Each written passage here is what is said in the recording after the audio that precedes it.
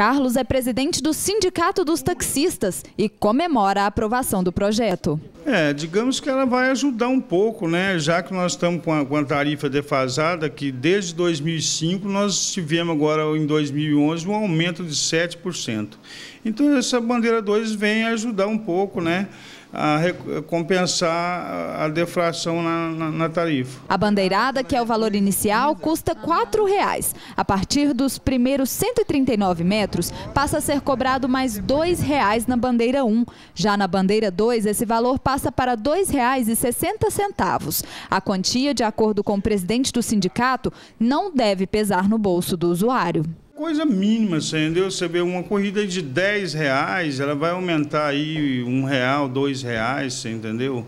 E porque a bandeira 2, ela já é da, já tem uma parte, a noite toda ela já é bandeira 2. Então ela vai só acrescentar a bandeira 2 durante o dia. Não é o que dizem os passageiros. Marcos Paulo é biólogo e mora em São Paulo. A cada duas semanas vem a Uberlândia e precisa pegar táxi.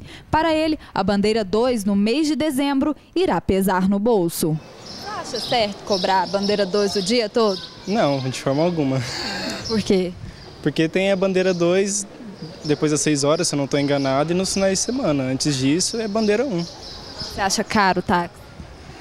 Se for quando a bandeira 2, sim, mas quando a bandeira 1, acho que está um preço legal. Por outro lado, essa técnica em saúde acha justo que a bandeira 2 seja aplicada no último mês do ano.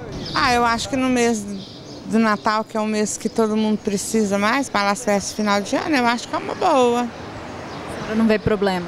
Não vejo problema nenhum. Esse taxista diz que a tarifa de táxi não tem aumento desde o ano passado e para ele seria importante se a lei entrasse em vigor. Eu acho que ela vai ajudar desde que ele não mexa na, na, na bandeirada inicial, que é os R$ reais.